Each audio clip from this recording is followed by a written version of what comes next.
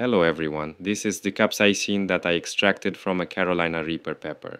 For those who don't know, capsaicin is the substance that gives red peppers their characteristic burning, spicy taste. I ran an analysis and the capsaicinoid content in this substance is about 90%. Today I'm going to show you how I extracted it.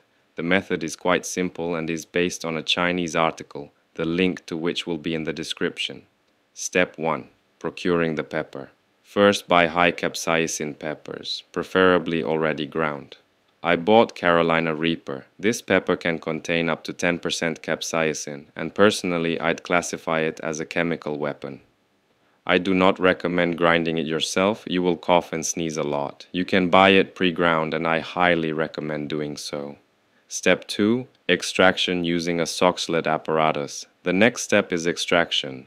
You can extract capsaicin with any alcohol or ethyl acetate. In this video I am using ethyl acetate and a Soxhlet extractor. It took about 4 hours for the complete extraction of 50 grams of pepper. I loaded another 50 grams of pepper with the same portion of solvent to get a more concentrated extract. Next, I evaporated the solvent as much as possible on a stirring plate to get rid of the ethyl acetate. Step 3 hydrolysis and neutralization. The next step is hydrolysis with a 10% sodium hydroxide solution. I use 200 milliliters of solution for this.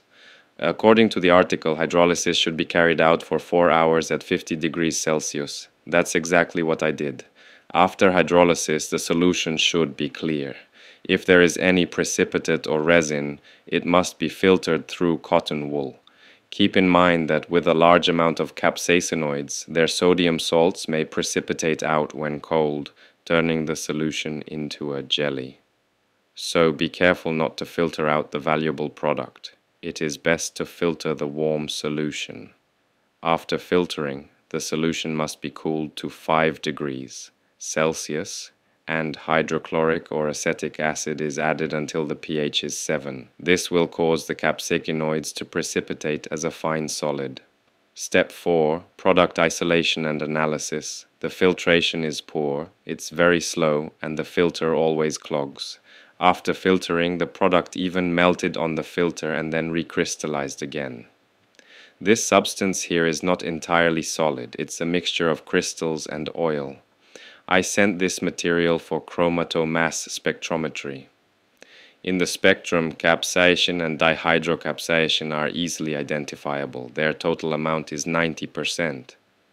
The article states that the capsaicinoid content should be 96% and also contain about 5% of nordihydrocapsaicin.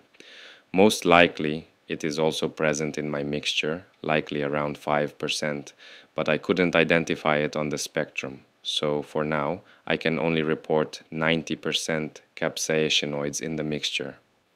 I performed the isolation again, but this time I decided that filtering the capsaicinoids was a pointless exercise and simply extracted them with ethyl acetate. Unfortunately, the separation of the layers is incomplete because some of the precipitate does not dissolve in ethyl acetate, and to fully extract the capsaicinoids, filtration is still necessary. I then dried the ethyl acetate extract with sodium sulfate and evaporated the solvent. I like this isolation method much better. To obtain pure capsaicin, you can recrystallize the product. Theoretically, the isopropanol hexane or ethyl acetate hexane system should work, perhaps requiring reduced temperatures as capsaicin's melting point is not very high. Such crystallization would lead to a loss of dihydrocapsaicin, which I also need, so I will conclude the capsaicinoid isolation here. That's all for today. Subscribe to my Telegram channel. I will post my experiments there before I release the video.